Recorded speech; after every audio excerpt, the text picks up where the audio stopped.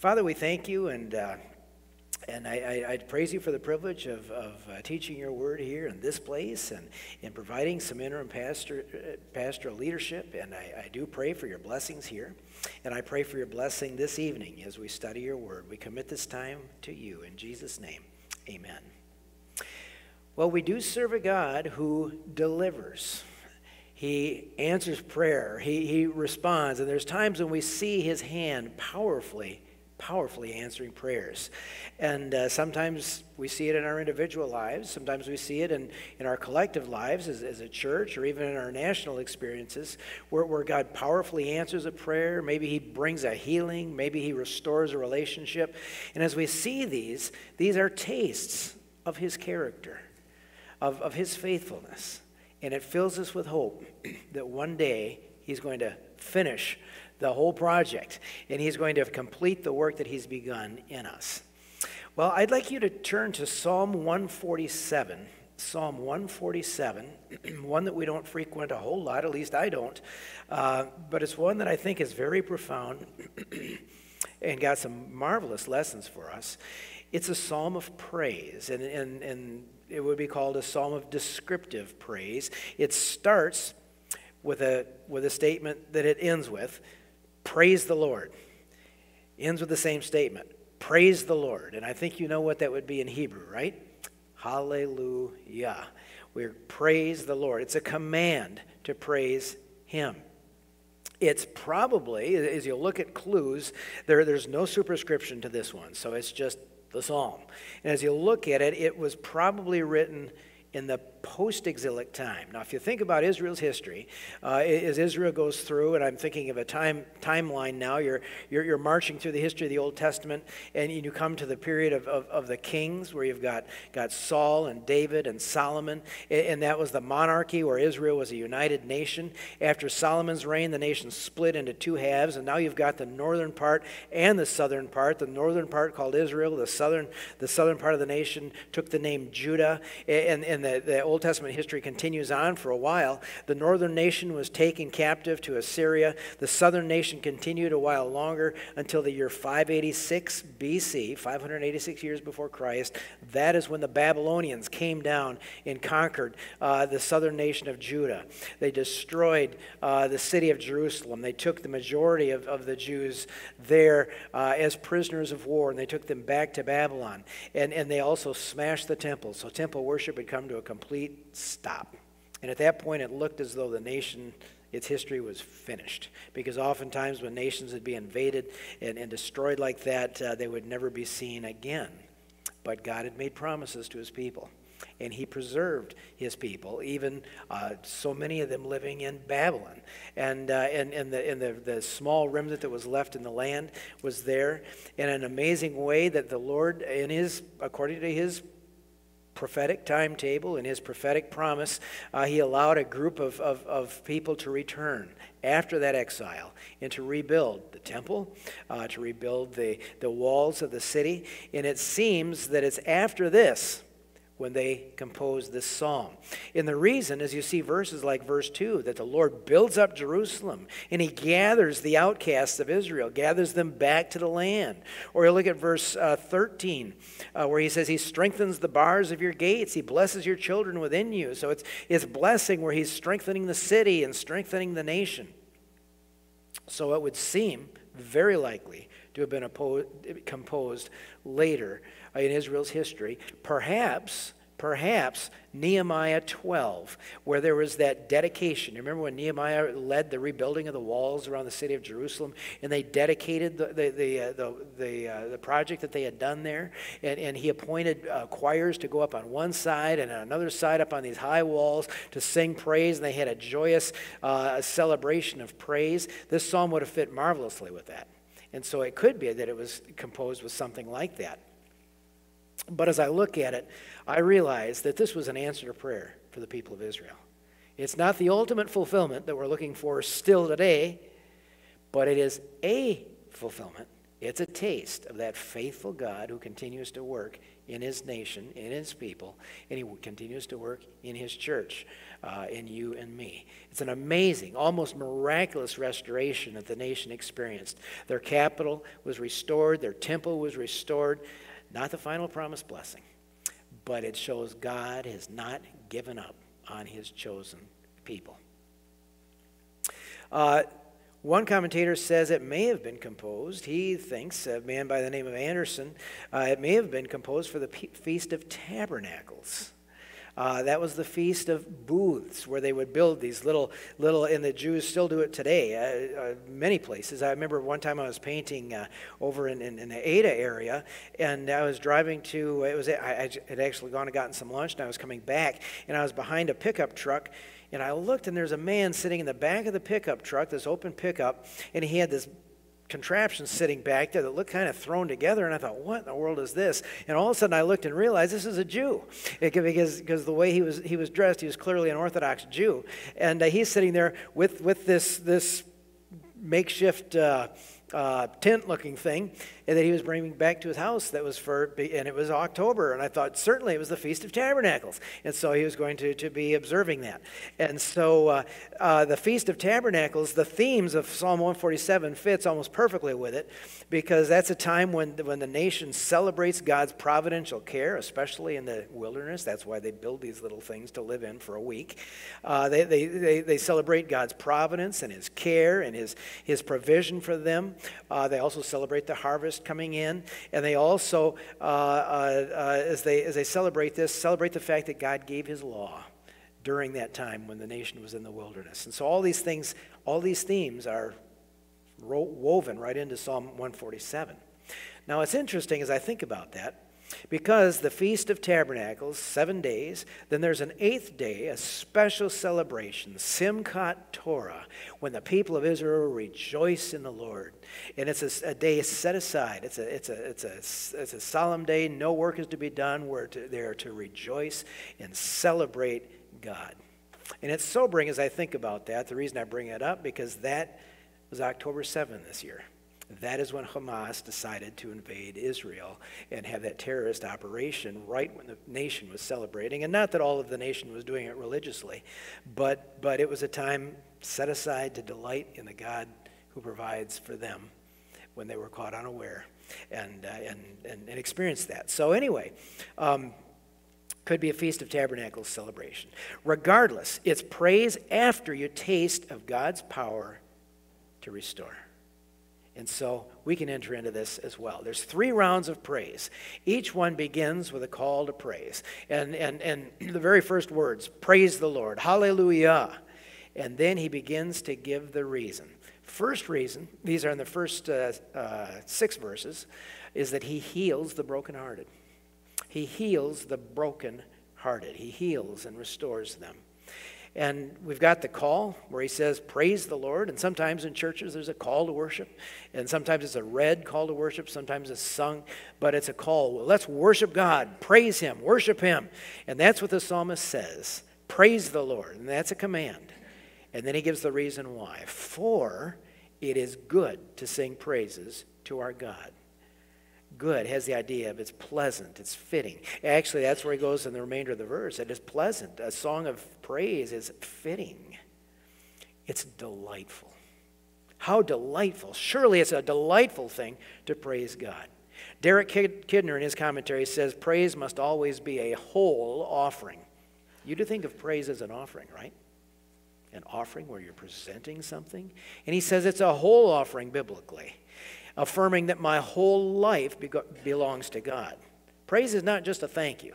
It's, it's a recognition that, that, that my entire life belongs to God. It's for His purposes. And so when I praise God, my focus is not on me, it's on Him. And I'm looking to the God who's provided. And it's, it's as I reflect on His pure glory and His pure goodness, what does it do to my heart? It invigorates. It, it's, it's, it's thrilling, it's pleasant, it's, it's wonderful. And if given a chance, what would you, what would I most like to do? Sit in front of the TV? Eat pizza? Go for a walk? or praise God? Well, a person who loves the Lord, to praise Him, it lifts and, and, and encourages the heart like nothing else. Uh, let me read these verses, verses 2 to 6, and just notice what it describes the Lord doing. He says, verse 2 the Lord builds up Jerusalem.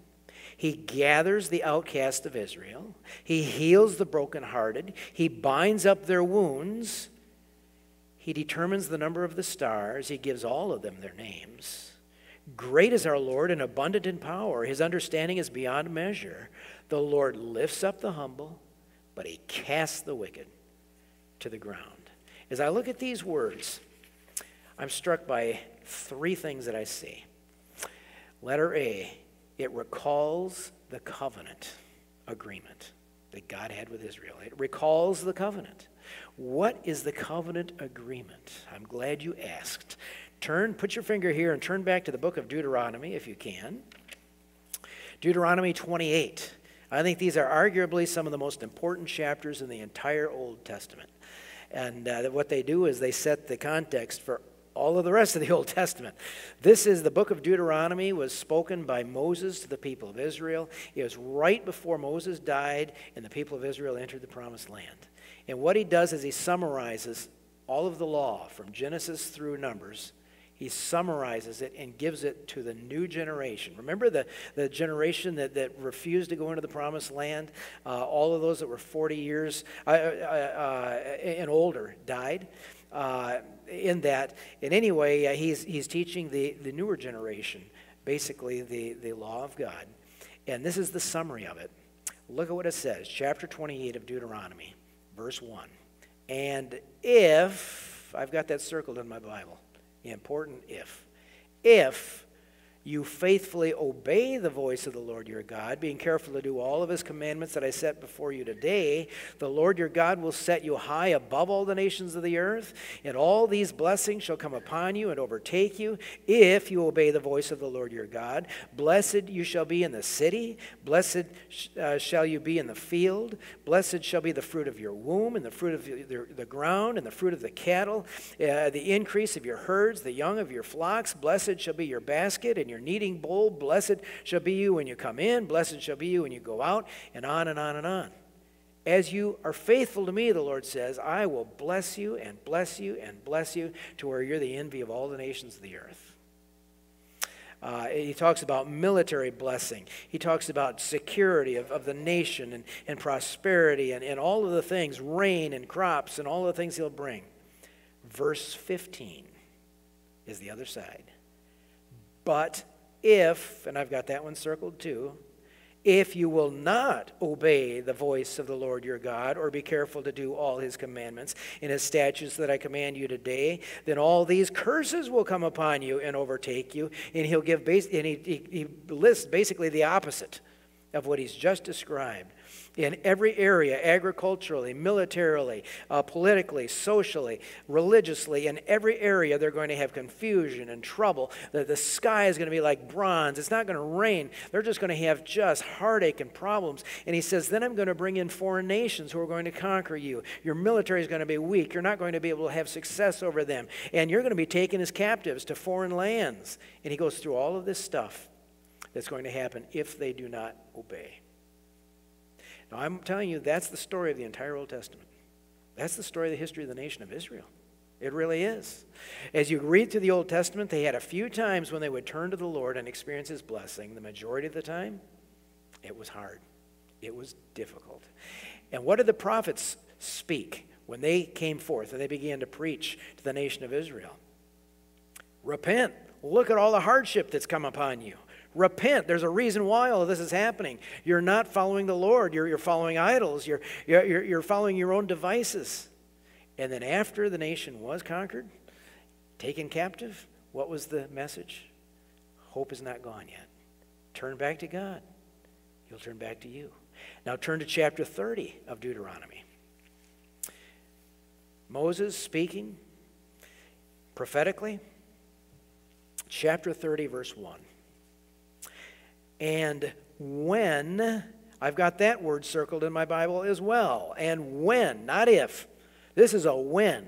When all these things come on you, the blessings and the curses, Moses knows the nation is going to disobey. They are going to experience a lot of the curses and the hardships. When these curses have come, and you call them to mind among all the nations where the Lord your God has driven you, scattered you all throughout the nations, and then when you return to the Lord your God, what's another word for return? Repent. That's right. When they repent, you and your children, and when you obey his voice and all that I command you today with all of your heart, with all of your soul, then the Lord your God will restore your fortunes. Restore. That's a word that we see in Psalm 147. He will have mercy on you. He will gather. That's another word we see in Psalm 147. Gather you from all the peoples where the Lord has scattered you. And even if you're outcast are in the uttermost parts of heaven, from there, the Lord your God will gather you, and from there, he will take you. And the Lord your God will bring you back into the land that your fathers possessed, that you may possess it. And he will make you more prosperous and numerous than your fathers. And the Lord your God will circumcise your heart and the heart of your offspring, so that you will love the Lord your God with all your heart, with all your soul, and that you may live. That's the hope. There you go. That's the whole story of Israel, right there in a nutshell. And when you look at that, uh, when you're reading any prophet, is this the first part of chapter 28? Is this the latter, pass, latter part of chapter 28, or is this chapter 30? And you can stick it almost in, in those three envelopes. Uh, that's what you have. And as I read Psalm 147, you can look back there. When I look at verse 2, the Lord builds up Jerusalem. He gathers the outcast of Israel. He heals the brokenhearted. He binds up their wounds. That's the language of restoration after the nation is turned to him. So it's, it recalls God's covenant agreement. It also recalls the promise of the prophets. Look at Isaiah, if, if you can turn there as well. The book of Isaiah, as I said, takes these very same themes and just brings it forth. Isaiah chapter 11, verse 12 the same language is used because Isaiah says God's going to do this. In Isaiah 11 12, oh, goodness gracious. I'm in the book of Psalms. Okay, Isaiah. I can't even find books in my own Bible. All right, Isaiah 11, verse 12. This looks a whole lot better. He will raise a signal for the nations, and he will assemble the banished of Israel and gather the dispersed of Judah from the four corners of the earth. He's going to gather them. And I can read you some others. Uh, Isaiah 56 8 uses very similar language as well. In fact, let's just look over there. Isaiah 56.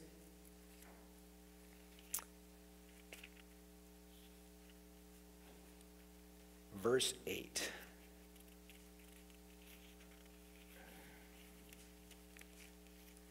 The Lord God, who gathers the outcasts of Israel, declares, I will gather yet others to him, besides those already gathered. I'm going to gather Israel. So it's the promise of the prophets. We've got statements where, where in the psalm it says he gathers the outcast, he builds up. Uh, if this was during Nehemiah's time, it could be building up in the sense of building a wall, uh, like Nehemiah did, or, or continually causing the nation to flourish. When it says that he heals the brokenhearted and binds up their wounds, that's figurative language. Uh, it could include building of lives, rebuilding of families, healing of relationships. Uh, Hosea 6 1, another prophet says, Come, let us return to the Lord, for he has torn us. Let's return that he may heal us. He has struck us down, but he will bind us up. Same language. So, so as, as the Israelites were singing Psalm 147, if they had knowledge, and many of them did, of the prophets, they're thinking of all of these words that were in the covenant, also that were promised by the prophets. And then it goes even further than that. We begin thinking of the ministry of Jesus himself, which would have been later than Psalm 147, obviously. Uh, when, when Psalm 147, uh, look at Psalm 147 now, um, verse 3, when it says, He heals the brokenhearted and binds up their wounds. Do you remember Isaiah 61? Jesus, one day in Luke chapter 4, he, he's in, in the synagogue in his hometown of, of Nazareth. And, and the, as, as the Lord providentially had it, that was the reading in the synagogue that day from Isaiah 61. Jesus was invited to read it, so he turned to Isaiah 61 and he read, The Spirit of the Lord God is on me. And Jesus is saying, it's talking about me. The Spirit of the Lord God is on me because the Lord has anointed me to bring good news to the poor. He has sent me to bind up the broken-hearted, same language, to proclaim liberty to the captives and the opening of the prison to those who are bound, to proclaim the year of the Lord's favor. And Jesus quotes this and says, This is me. So as you start reading these verses in Psalm 147, 2 and 3 of how God is gathering, this is the fulfillment of the covenant this is the fulfillment of the promise of the prophets. And this is exactly what we saw happening in the life of Jesus during his first ministry in Israel. And guess what? It's going to happen one day when he comes back. So, this is the whole picture that we're seeing here. It recalls the covenant. Remember Jesus' words, Matthew chapter 5 Blessed are the poor in spirit. When he's talking about these people. This is what Jesus brings. So it recalls the covenant agreement. Letter B, it affirms God's infinite power and his understanding. So it, it, it, it, it recalls that covenant, but it affirms that he's all powerful. He can do this. And it's displayed by the way he, he, he sustains the universe. Look at verse 4. He determines the number of stars. How many stars are there? Nobody has any guess there are just billions of them. He determines exactly how many. And he gives to each of them a name. That's, and, and when it talks about naming things, that's a sign of lordship. Uh, I remember in Genesis when Adam was told to name the animals, it was, it was a sign of dominion that, that God had given to him over the animal life.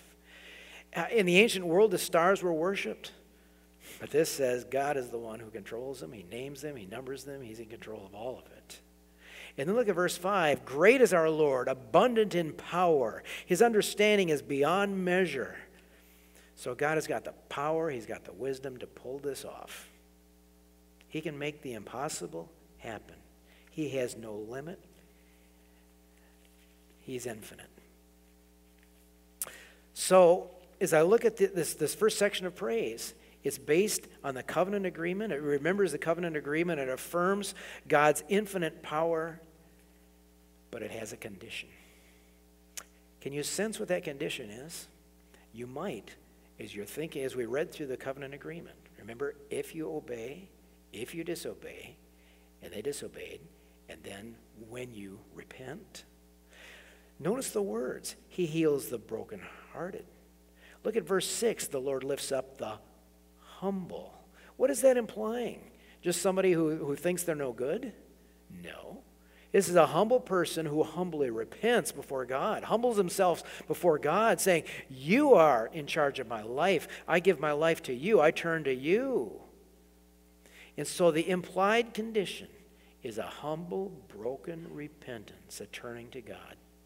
And for us, who know that he sent, that God of Israel sent his son, the Lord Jesus, it's a turning to his son, Jesus. Um, even as I look at 6, verse 6, look at the contrast. The Lord lifts up the humble. What's the contrast? He casts the wicked down. That lets you know that when he's talking about the humble, he's not just talking about somebody with a low self esteem. He's talking about a humble person who is turning in righteousness to God. So, so that is the condition we see. Um, can't help but think of the Song of Mary. Do you remember after, after the angel appeared to her and she gave forth her marvelous Magnificat, her song of praise? Luke 152 He, the Lord God, has brought down rulers from their thrones, but he has lifted up the humble. Mary was a humble. She was just a lowly girl but she was a lowly girl who loved the Lord God and had committed her life to him and was marveling at the way that God lifts up the humble, even making her the mother of the Messiah. so God's righteousness works both ways. And so the condition is repent, turn to Him. You won't know His blessing apart from that. So praise. He heals the brokenhearted. There's another reason to praise, and look at verse 7 Sing to the Lord with thanksgiving, make melody to our God on the lyre. So it's a, a, an instrument, a stringed instrument that might have been a little bit like a guitar or a banjo or something. A few more strings, though. But uh, um, make melody to God and sing praises. And then he gives a second reason because he takes pleasure in those who fear him. God takes pleasure in those who fear him. This is verses 7 to 11. And we're told to give musical praise. The reason, letter A, the first reason, he cares for all of creation. He cares for all of creation. Verse 8, he covers the heavens with clouds. He prepares rain for the earth. He makes grass grow on the hills. Now, we may get tired of rain sometimes in Michigan. In the Middle East, rain is a sign of blessing. And I tell you what, if it doesn't rain, it could be trouble. And I remember the last time I was there, I was privileged to worship in a, in a church uh, uh, of uh, a lot of Israelis, but, but there were other expatriates there as well. But they had a prayer request time, and one lady, one Jewish lady, that raised her hand immediately, and it was in the end of November. And she said, We better, we need to be praying for rain because we need it right now. And that was a few years back, but uh, it made me think how important rain is there says he gives beasts their food, verse 9, and to the young ravens that cry, even to ravens. Um, he cares for creation. But let her be, while he cares for all of creation, let her be his special delight is for those who fear him. His special delight is for those who fear him. This is the high point of the whole psalm. This is the central lesson. Look at the way it's phrased. Verse 10 His delight is not in the strength of a horse, nor his pleasure in the legs of a man. What in the world is that talking about? You know, you got great legs, right? Well, what's he talking about? I think he's talking militarily. These were the military weapons. You know, you've got a horse that you can use, it's, it's effective in battle. You've got our uh, troops, which are swift and they can run and they can get to the destination. And, and he's saying the Lord's delight is not because look at the great army Israel has been, been able to make. I take great delight in you. Look how great you are. Um, that's not what God delights in. He doesn't delight in our resources and our abilities. He doesn't look at you and say, You're so strong. You're so fast. You're so smart. You're so, so intelligent. I really take special interest in you. What does He delight in? Not that. The Lord delights in, he takes pleasure in those who fear him. Now think about that. Delights, takes pleasure in. Are those words that you often grab onto when you think about our God? Can you picture God up there delighting, taking pleasure in somebody? You know, my mind goes to, to a grandparent taking special delight in their grandchild laughing, slapping their, lap, their, their leg with joy as they're seeing what that little child is doing. God delights in his people like that. Does that change your estimation of God a little bit? But what type of people does he specifically delight in? What draws his favor? What draws his delight? It's not our great abilities, not our resources, our cunning, our smarts, everything else, nor our military. Nothing against that, but that's not what it brings. What brings his delight? Those who fear and trust him. That language makes us jump a little bit. Those who fear him? Sounds a little strange, huh? Does God want us to be afraid of him? To draw back in terror? Like, oh, you're scary. Is that what God wants? No, because fear has a parallel in this very next line. Those who fear him, the next line, in those who hope in his steadfast love. So fear and hope go together, right? Fear of God does not mean that we're terrified of him. It means that we have a proper estimation of him. We see him properly as he really, truly is. And if we see him properly, we will obey. We will trust. We don't want to be on his wrong side. Pleasing him is our first and only concern. And we're not relying on ourselves. We're seeking to please Him. We're seeking to trust His promises. He wants us to fear Him. Why does God want us to fear Him? Not because He's on an ego trip, but because it's right. He's God. And it's healthy for us. It's right, it's proper. It's, it's the way, it's the pathway to blessing. When it talks about those who hope in his love, that word is a waiting that's characterized by, by expectancy and eagerness and assurance. Faith that's standing on tiptoes looking for the fulfillment that God's going to bring. Psalm 33:18 says, "Behold, the eye of the Lord is on those who fear him, those who hope in his steadfast love." Does that characterize your heart? Does that characterize mine? Are we hoping in him? Are we fearing him? Trusting in his love? If so, God's eye is right on you, and his hand is on your life. These are the people who experience God's help. who does? People who know they need his help. and they turn to him, and they fear and trust him. So, praise God, he heals the brokenhearted. Sing to God, he takes pleasure in those who fear him. One more call to praise. Look down at verse 12. Praise the Lord, O Jerusalem. Praise your God, O Zion. That's another synonym for Jerusalem, the hill on which the city of Jerusalem was, was built. Why should we praise him? He sends forth his powerful word. He sends forth his powerful word. Verses 12 to 14, this is letter A again, if you're taking, taking notes, he gives abundant blessing. Uh, kind of like what we saw back in verses 7 and 8. Praise the Lord, O Jerusalem. Praise your God, O Zion. He strengthens the bars of your gates. He blesses the children within you. He makes peace uh, in your borders. He fills you with the finest of wheat. And so he brings blessing on his people. Israel, in this case. His people, the church, in our case. He gives abundant blessing.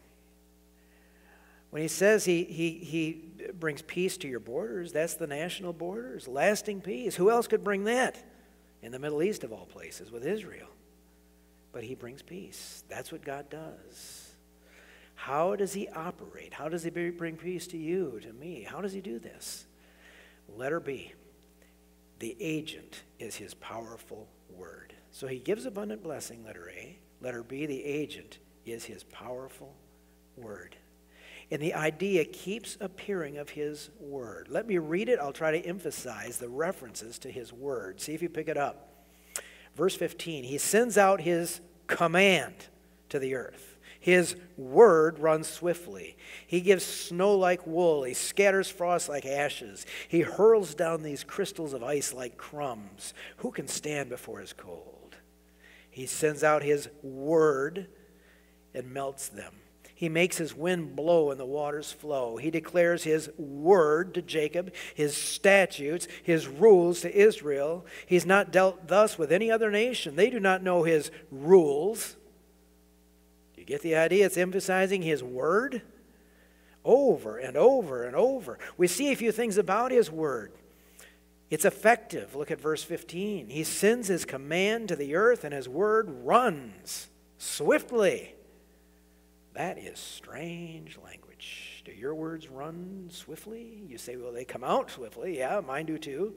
But they don't run around after they're out. Um, his speech, his word, it reminds me of, of, of uh, the, the words of that, that, that uh, Isaiah speaks in Isaiah 55, and actually the, the words that the Lord speaks. Great chapter, Isaiah 55, verse 8. Listen to this description of the word of God. Actually, I'm going to start 55, verse 6. Seek the Lord while he may be found. Familiar words. Call upon him while he is near. Let the wicked forsake his way. Let the unrighteous man forsake his thoughts. And let him return to the Lord that he may have compassion on him. That's the, really the theme of Psalm 147. And to our God, for he will abundantly pardon and then God speaks, For my thoughts are not your thoughts, neither are your ways my ways, declares the Lord. For as the heavens are higher than the earth, my ways are higher than your ways, my thoughts are higher than your thoughts. And listen to this as the rain and the snow come down from heaven, and they do not return there, but they water the earth, they make it bring forth and sprout. They give seed to the sower and bread to the eater, the, the eater. So shall my word be that goes from my mouth. My word, it will not return to me empty. My word will accomplish that which I purpose. It shall succeed in the thing for which I sent it. I speak, says God. My word goes out. My word accomplishes what I sent it to do, and my word comes back to me. Now, this week, I had to take care of a lot of leaves. We've got a lot of trees behind our property and try to clear it, and there was a pile of leaves there. Now, what I did not do was sit in the house and send out my word, say, Leaves, go. And my words didn't run out there and gather up all the leaves and take them off my yard. My words don't do that. But somehow God's words, when He speaks, they run out. His word does, accomplishes the purpose, and comes back. So His word is effective. His word is also authoritative. Look at verse 16. He gives snow like wool, he scatters frost like ashes, he hurls down his crystals of ice like crumbs. You know, the big snowflakes that come down like crumbs? And then he sends out his word, his breath, and he melts them. He makes his wind blow and the waters flow after the snow melts. What can we do to control the weather? Nothing. Maybe there's something that we could do if we drop some major bomb. I don't know. But the weather is the weather. God determines what's going to be, and that's what it is. His word is kind of like that when it brings snow. Even in Israel. You say, does it snow in Israel? Once in a great while. It does. In Jerusalem. Once in a great while, you'll see pictures of a snowfall, but very, very rare. Uh, in the north, you'll get more snow. But uh, it's authoritative, just like weather. Who can stop it? And weather can bring us to a complete standstill if God wants to do that.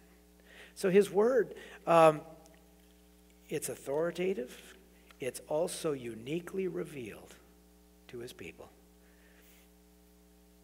Verse 19, he declares his word to Jacob, his statutes and rules to Israel. Those are both synonyms for the people of Israel. He declares this. He's given his word to them. By his word, he controls nature, and yet he's given his word to his people. That's an amazing Way to think about it. And then he says his statutes and his rules he's given to Israel. Statutes, rules, does that sound wonderful? Don't think of his laws as a heavy burden. A way to view God's law, his word, it's a pathway to life, to blessing. That's why he's given it to us. That's why the psalmist says, I delight in your law. God has shown us the way to joyful life, and He's shown us the pitfalls to avoid. And He says, This has been done for no other nation. Praise the Lord. And the conclusion is the same place where we started the psalm praise the Lord. So, God restores. He heals the brokenhearted. He takes pleasure in those who fear him. He gives, sends forth his powerful word. From a New Testament perspective, what do we do with this? Well, it's hard not to see all this reference to the active, dynamic power of the Word and not begin to think John 1 1. In the beginning was the Word, the living Word. The Word was God. The Word was with God, and the Word was God. And by Him, all things were made that were made. He's the Creator God, but Jesus is called the Word. I think of Hebrews 1. Long ago, at many times and in various ways, God spoke to our fathers way back then by the prophets. But in these last days, He's spoken to us by, or literally in, His Son, that living Word. The one who He has appointed heir of all things, through whom He has also created the world. And this Word is the radiance of the very glory of God, is the exact imprint of His nature. He upholds the universe by the Word of His power. After making purification for sins, he sat down at the right hand of the majesty on high, having become as much superior to angels as the name he inherited is excellent than theirs. What Hebrews 1 1 to 4 is saying is this eternal word, this eternal Son, he holds the universe together. That's the powerful word of God. He's the one who created the universe the first part. He's the one who holds it together now. He's the one who came into our world, provided cleansing for our sins. His sacrifice was sufficient, and he's seated at the right hand of God in heaven. How does God restore? How does God heal? Through his word, the Lord Jesus Christ. That's what this psalm is fulfilled in. The Lord Jesus.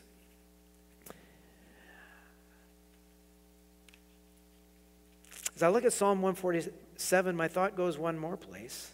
I think of the modern nation of Israel, especially in these days with what they are experiencing. And the things that we've talked about, I think, apply very quickly and very clearly there.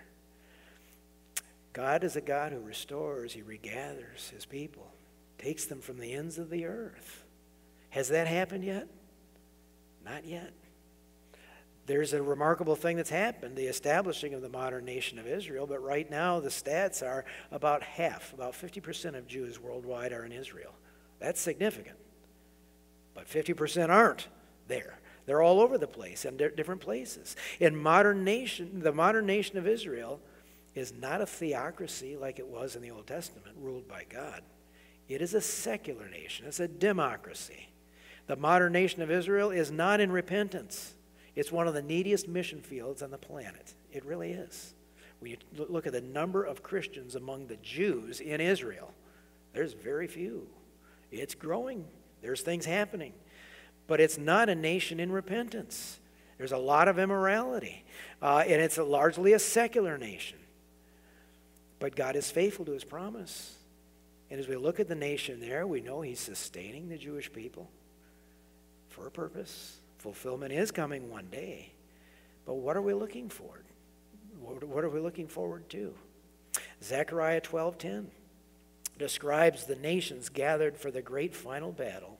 God intervenes, and in 12 verse 10 the Lord says through Zechariah, I will pour out on the house of David and the inhabitants of Jerusalem a spirit of grace and pleas for mercy, so that when they look on me, on him whom they have pierced, they shall mourn for him as one mourns for an only child, and weep bitterly over him as one weeps over a firstborn. On that day there shall be a fountain open for the house of David and for the inhabitants of Jerusalem to cleanse them from sin and uncleanness. That's what we're looking forward to. That's when he's going to heal the brokenhearted, bind up their wounds, lift up the humble. In Israel. Doesn't mean that every last one will come to faith, but a good majority, a solid number of the Jewish people, we believe, will turn to him. How do we support Israel now? What do we do? Well, we pray for the peace of Jerusalem, but what does that involve praying for? Repentance of the nation so that they can receive that blessing because the covenant promises still hold. And God still says, when the nation that's dispersed all over repents, I'll gather them and bring them back in blessing. The nation is there right now because, humanly speaking, the United Nations put them there in the Middle East, and there is no peace. There's strife and turmoil continually. But when the nation turns to God, that's when they will be there under peace. So we pray for them. We help them. We know they're targets of Satan. We're targets of the evil one who knows that they've got a significant role in God's plan. But even as we help them, we're very aware that God loves the Palestinian people too.